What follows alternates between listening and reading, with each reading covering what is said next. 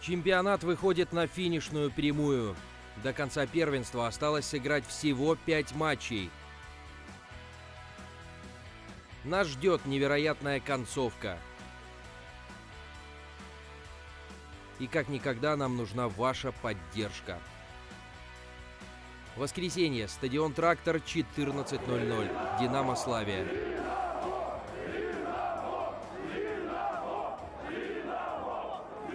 Только «Динамо».